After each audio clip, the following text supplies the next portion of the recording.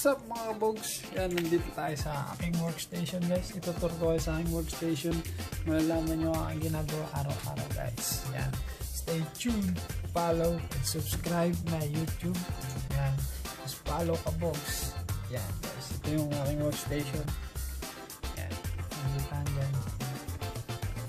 Kung napapansin nyo guys, puro plano yan. Puro mapa ng Quezon City. Tapos mga citywide project ng Tabuk. Citywide project ng Santo Tomas. Yan guys. Tsaka kadalasan dito guys, barangay ng Quezon City. Yan. Yan guys. Papayata ko sa inyo mamaya guys. Stay tuned! Boo!